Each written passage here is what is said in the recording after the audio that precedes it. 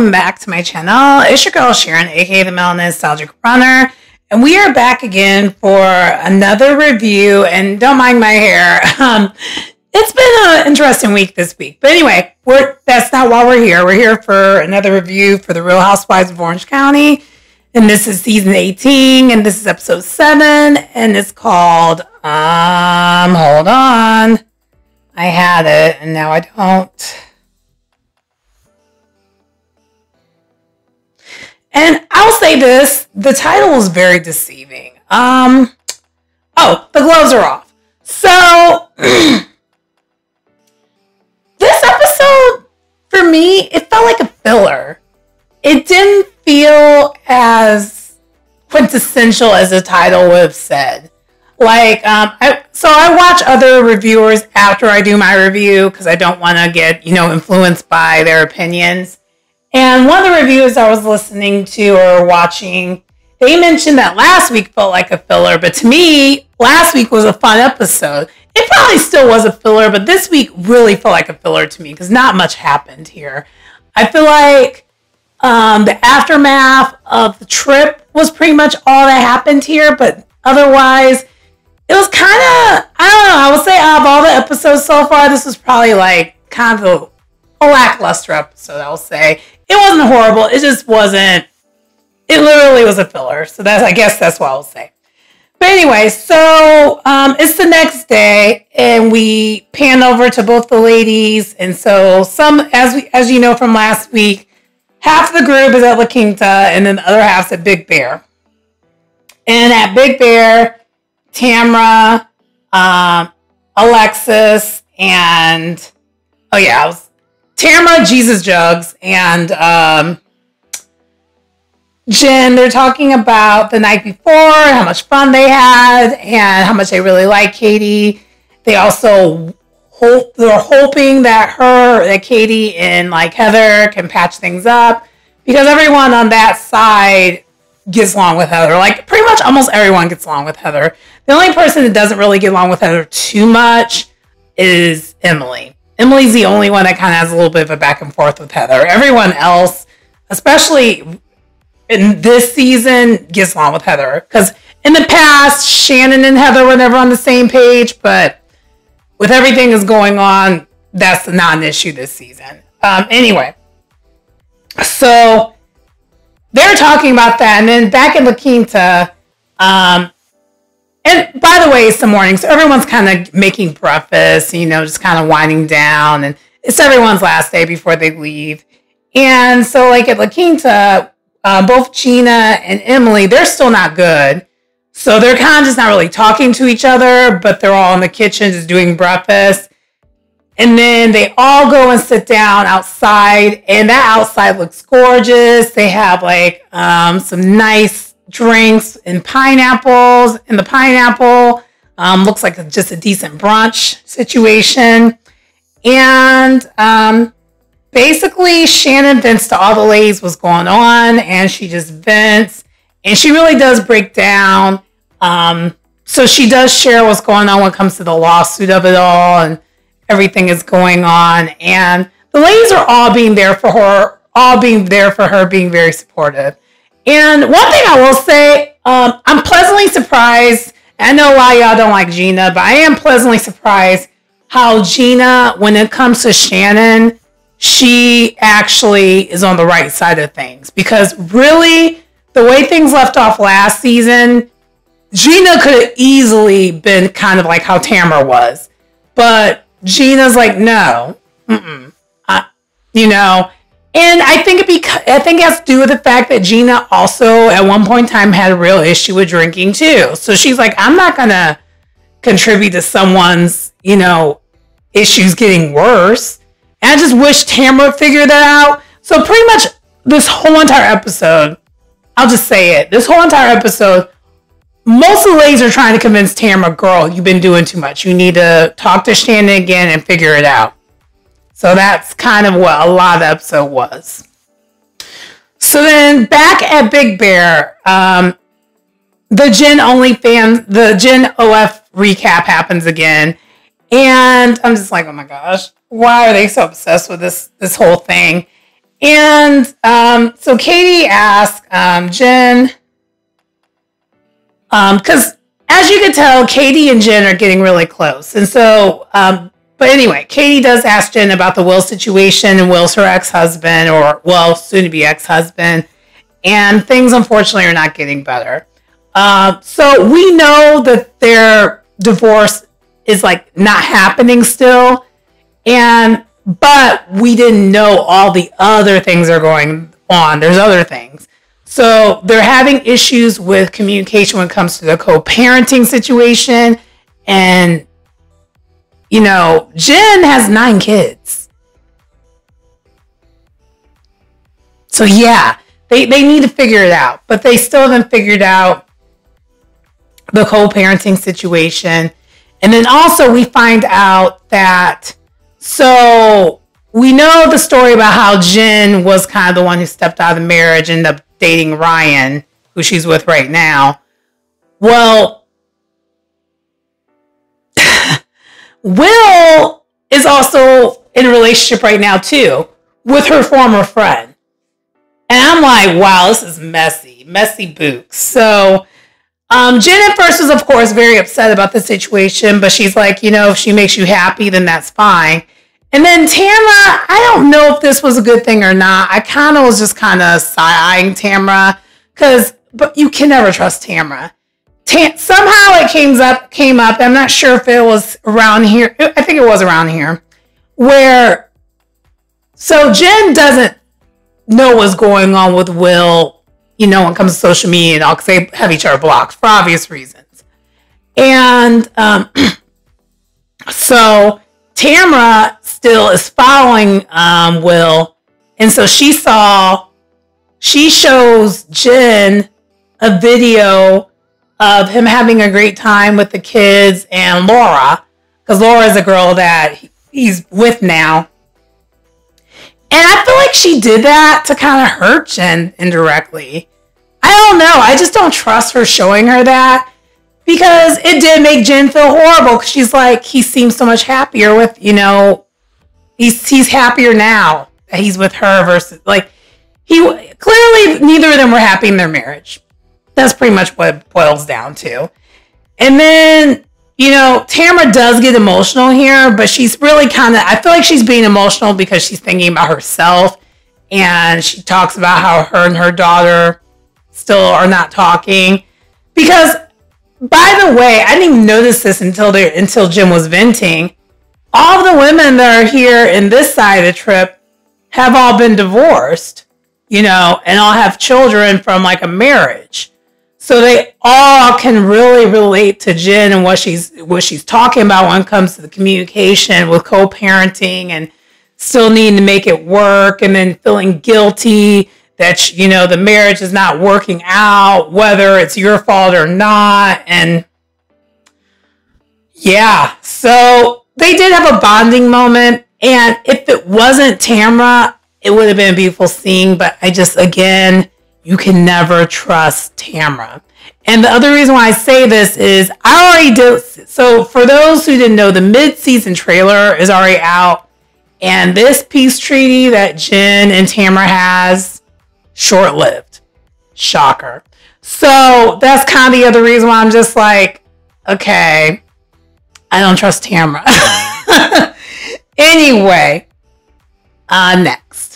So back at La Quinta, we have um, Emily and Gina. They're about to go. They go to play pickleball. Um, they're still at La Quinta, and right away, it didn't take very long.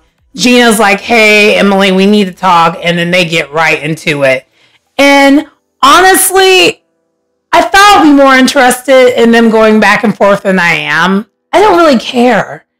Because I guess what it boils down to, they are two sides of the same coin. They're literally arguing about the same thing about other people.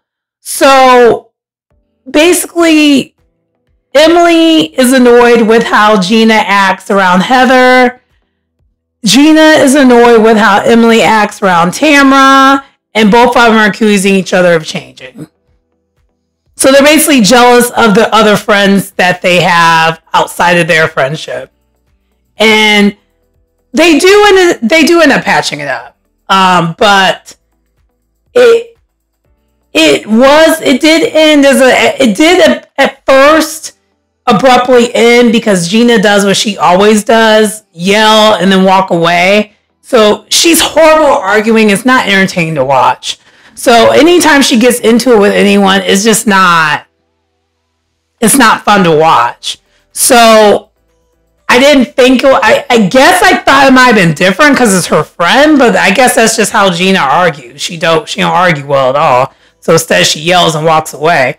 But then it was funny because she tried to walk away, but she couldn't do her dramatic walk away because she was locked out of the house and the sprinkler system was going off. So she looked kind of dumb and it was kind of funny.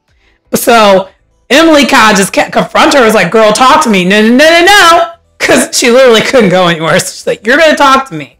So they again they do eventually resolve it, and basically Heather and so while this is happening, Heather and Shannon can hear them from the inside because they were all supposed to go play pickleball together, but they waited because as soon as they heard them, like, "Ooh, never mind, we're gonna wait." Um, so that's kind of how that ended over there, and then back over at um, Big Bear, we have Katie and Alexis talking about the Heather situation, and Alexis basically wants, you know, wants Katie to squash it with he- with Heather. Because she's like, I really, you know, Heather is like one of my closest friends when it comes to this group, and I really, really, really, really want you, um, I really want you two to like, you know, resolve it, and. I don't know how true that is. As far as like Alexis and Heather being really, really close friends. I know they're close now, kind of recently, but I know historically they were not cool. Like the people on the show still from Alexis's original time in the Housewives, none of them liked her originally. So I don't know what they're talking about when it comes to like I, I kind of know what she's talking about when she says that, but okay, maybe it did change. I don't know. But anyway, so that's kind of all that happens here. And then um while this is happening, we had Jen and Tamra talking about Shannon. Jen confronts Tamra, and I'm like, yes. Ah, side note, I feel like I am loving Jen more and more this season. I know I gave her a hard time about how she's just kind of financially illiterate. I do want her to figure that figure that out truthfully. But as far as her personality, she's just so lovable. Um, and I love she's like kind of one of the only people that's checking. She she's checking Tamra. She's like, girl, I'm gonna need you to like squash things with like, you know, if, if we're gonna be real, we're gonna be real. So, and she she did it very respectable. She's like, hey, Tamra, I think you the way you're approaching things with Shannon ain't correct. I'm gonna need if you really really care about her and you really really value the friendship, you you need to squash it, and you need to show. I mean, yes, okay, if you want to really continue the tough love, you do that, but do it with love, not with what you're doing it right now, because that ain't it. Like do it, do it with your heart. And so Tamra took it in, didn't feel she was like, okay, okay, okay, okay. And so yeah, that's kind of what happens here. And so back at La Quinta, after you know Gina and Emily squash it, Shannon and um, Heather do go outside to join them for pickleball, but they didn't even come back for pickleball. That kind of that scene kind of ended early.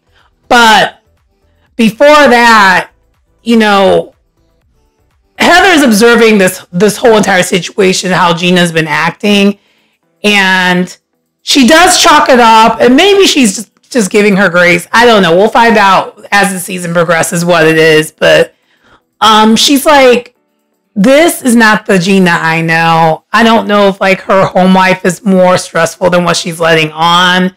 There's more going on than what she's letting on. But like, you know, this isn't the Gina I know. So that's, I feel like that was a little bit of an Easter egg, and there's going to be more to come with that. So, yeah, Um, and then also back at Big Bear, um, Alexis is still again threatening um, to expose Shannon. And that's kind of how that ends over there. And she was being very dramatic and annoying about it. And Katie was the only one who was still there.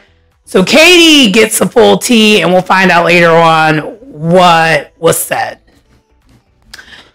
Okay, so then um, we have a little bit of a, a, a, small housewives montage. I was gonna say a little bit, a little bit, child, but we have a little bit of a small um, housewives montage where we have Katie and her son outside with the dog, and um, then we have Jen cleaning up her dog poop in, inside because I guess her dog accidentally pooped inside. I'm like, yuck. And then Tamra and Eddie are walking their dog, and Eddie's cleaning up the dog poop because Tamra's like, I don't do that. We we we had that agreement a long time ago. So very much this montage is about dogs and poop. Anyway, so then um Gina so then Tamra shows up at Gina's place, and Tamra hasn't been at her place, I think it's been a while and Tamra's showing her um, all the like construction that's happening inside the house because as we know well i guess what we found out i didn't know this is how it was going to go but gina instead of like moving she's staying in the house and renovating it so that it's livable for all of them to just be in the house and then her oldest can have um, the larger room and you know basically making it a better and easier living situation for the kids. And so she's kind of showing Tamara around when it comes to that and um, venting to Tamara about how, um, you know, her, her, um, I forgot how Travis feels about the whole entire thing. And I'm just kind of like, I'm sorry, but I don't care about the storyline. Because who cares what Travis thinks about this thing? I'm sorry. Like, to me, every time I hear about this, I'm still thinking if he felt a way, then he needed to put more onto the table financially.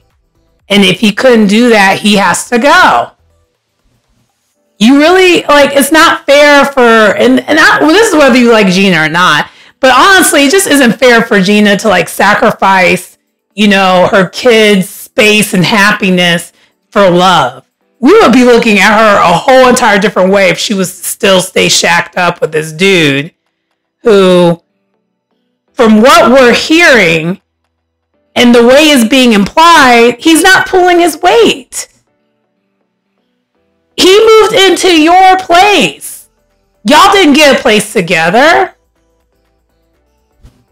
So he can feel away all he wants to. I'm sorry, but I don't feel sorry for him at all. Maybe I'm a little bit jaded. there's no maybe. I'm probably jaded kiss over here. I'm probably super jaded.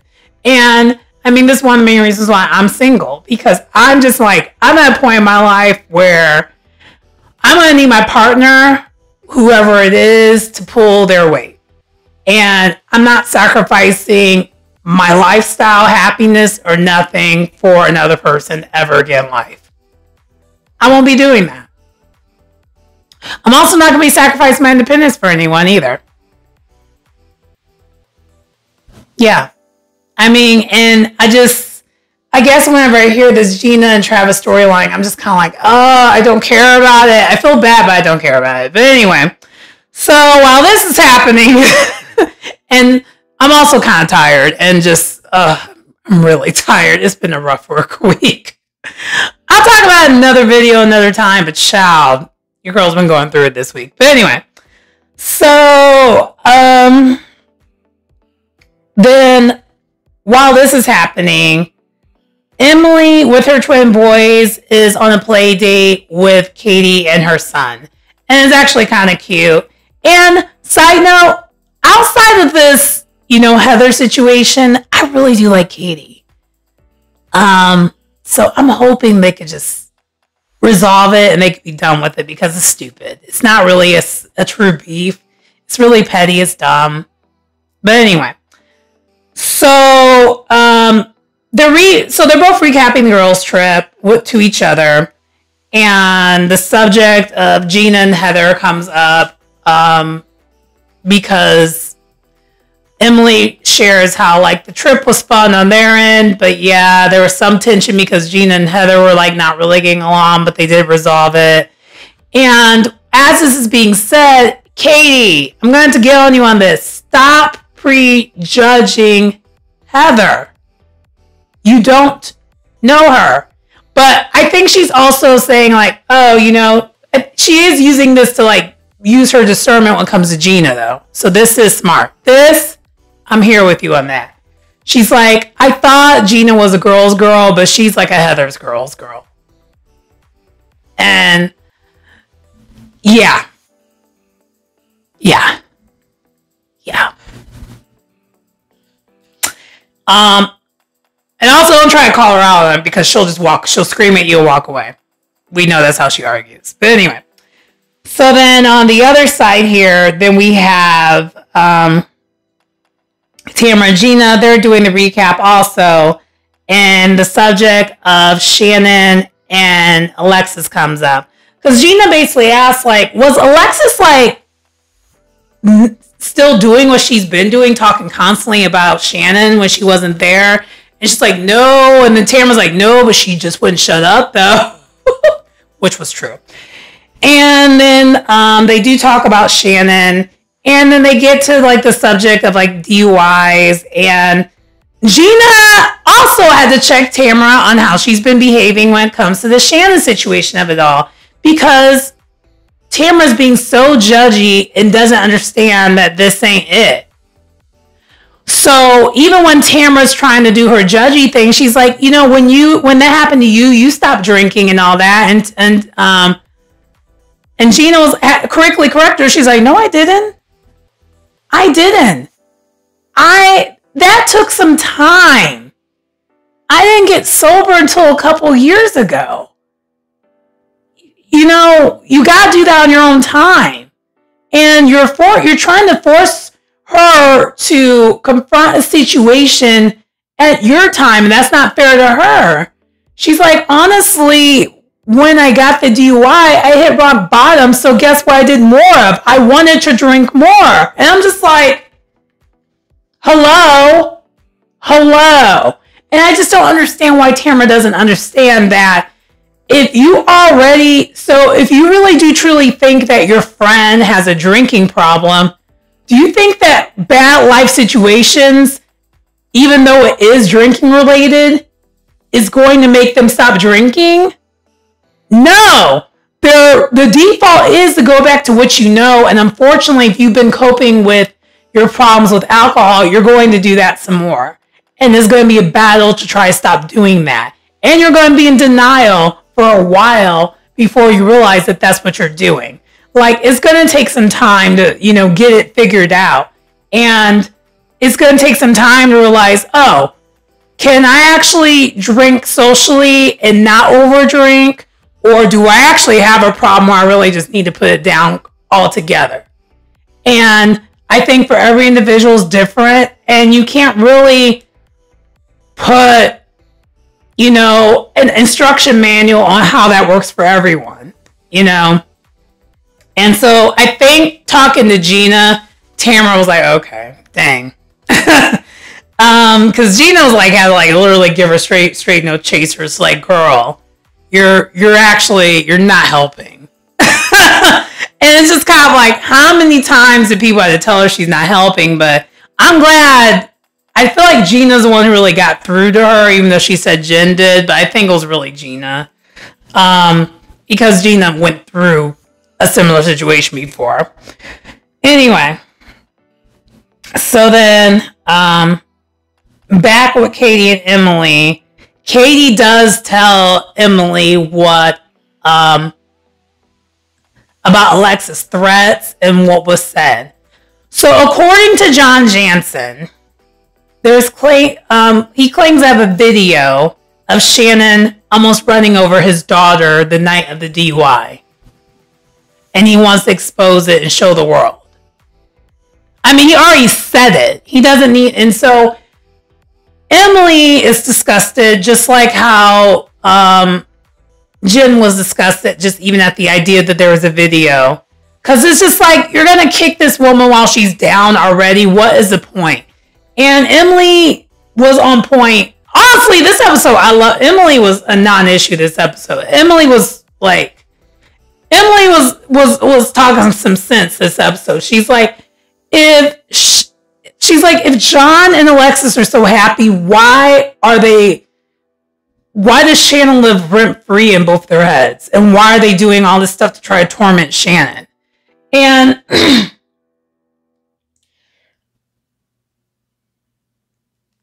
I I don't even know. I don't even know. But all I all I could chalk it off to is they're disgusting people because even they're just disgusting people. Whether it's true or not, it's just disgusting. It's all disgusting because like I'm sorry, but I guess for me, she already did do damage with this DUI. She knows she messed up. I mean, clearly she was not in the right state of mind to be drink to be drinking and driving. I mean, she shouldn't have been drinking and driving at all. Like, that's clear. So once she got behind the wheel, she messed up. After that, you know, all bets are off. So the fact that this man wants to like expose it more and show the video more, it's like, what is the purpose of this? Like, ugh. Anyway, next. Okay, so a couple more things happened this episode. Um, so this is again, this is pretty short episode. Um, pretty much a filler. So um, Jen and Ryan they go on a spa day. Um, Jen recaps the trip and talks about the whole OF of it all, and they joke around a little bit about it. And then sorry. Um, Jen and Ryan talk discuss Jen's parenting style, and I do agree with Ryan. Jen does need to, you know, be a little bit tougher because I mean, you probably could tell based off of just how she is on the show, she overly coddles her kids. Um, and she said it got much worse once the divorce started happening. And so now she's trying to set all these ground rules. For some of her kids, it's like not going to fly really. For example, they show her trying to like set a curfew with her 17 year old son, who for 17 years didn't have a curfew, and now she's trying to set one. You know, things like that. So, um, they're, so they're trying to work together and work through the parenting style of it all and go from there. And although I don't care for Ryan, I am happy that Jen does at least have someone to help her out through this hard time and she just kind of let her hair down a little bit. But once once this divorce is over with, she does need to like work on being independent. Um, I know that's going to be difficult, and honestly, after this episode, I felt for her even more. She talked more about how the communication and the co-parenting is just not going well. Cause that was the other, that was a part, that was a missing piece that I don't think none of us knew that the co-parenting wasn't even going well. It's like, well, sheesh. and I mean, I imagine that's difficult when it's just one child. It's nine of them. Anyway, so then next we see that Tamara is calling Jen while Jen's in her confessional, um, talking about how she's going to go and meet Shannon. And then Shannon is in her car and she contacts Heather talking about meeting Tamara. So then they have that sit down. And child, at least for once, Tamara wasn't yelling at her, but she still was keeping that same energy. And so, um, at first they weren't getting anywhere. And Shannon ended up storming out for a little bit to kind of just, you know, collect herself. And then she came back and articulated herself and ate her up well. And she was like, look, she's like, look, Tamara, I cannot handle you constantly attacking me. This is not working for me. Like, I understand that I messed up. I made a major, I made a lot of major mistakes, but, and so she finally, so Shannon stopped, you know, pointing the finger back because the thing is with Tamra, that's not going to work because Tamra is a is a high almighty hypocrite. like, hello. Um, but Shannon was like, look, I'm going through a lot. I have a lot going on. And I forgot to mention, Shannon is going through a lot. She did ventilate about how her being a, because she's also an empty nester now. All this is happening, and she's an empty nester. So she is going through a lot. I'm just like, oh my gosh. Oh my gosh. And so, but basically, Tamra is like talking. So she's talking to Tamra about everything that's going on. And I'm gonna hold you when Tamra did finally apologize to her, it was so disingenuous. I did not believe it. Um, cause I think Tamra ended up letting it go and forgiving her because she knew she was going to get eat up. I don't think she did it out of the genuosity of her heart. I don't believe she did that. So she basically does apologize though to Shannon eventually because Shannon, she basically made Shannon break down even more. And Shannon was like, Look, I'm going through a lawsuit right now. I can't. and you have not been like, and the support that, like, I hang out with a very small, tight knit crew and they've been the most supportive that, that they've been the most the most supportive I've ever had in my life. And which hurt Tamra. Um, because Tamra's like, I haven't been there for you. And she's like, honestly, not this moment. No, you've been tearing me down. You've been defamatory. You've been saying all these things about me, yet you don't even know what's going on with me. You have no idea. And that's where she shares their lawsuit situation. But see, this is what I don't like. I, I'm looking at Tamra funny because you knew about the lawsuit. Alexis told you about it. And, and I feel like you're trying to pretend that you don't know about this lawsuit, even though Alexis told you that John, John was going to do that. So you knew about this. Um, I don't know. I just don't trust. I don't trust Tamra. I don't trust Tamra. So anyway, the episode does end where they do makeup, and Tamra's like, I just feel bad. According to her, she's saying she's feel bad. She's like, the fact that she's getting sued again. And what gets me is I still don't understand how Tamra and Alexis are even friends because she's just like, she was even reflecting back about how Shannon and her were trauma bonding the last time she got a law- had a lawsuit. And this time she's like, the fact that's happening to her again with everything else she has going on, that's, you know, she's like, even though Alexis is my friend, this is team too much. That's what Tamra said.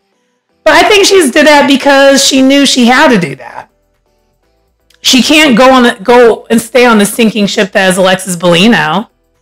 Because literally everyone else on the cast is telling you you are effing this up. So you knew she was gonna you knew she was gonna patch it up.